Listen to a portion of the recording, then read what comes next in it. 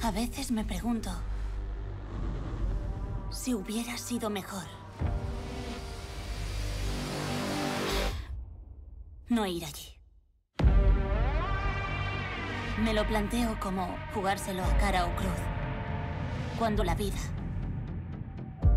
puede ir en una dirección. O en otra.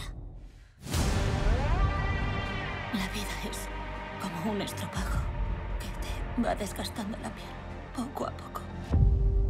Bienvenidos. Me complace veros a todos aquí. Y ya no queda nada entre el mundo y tú.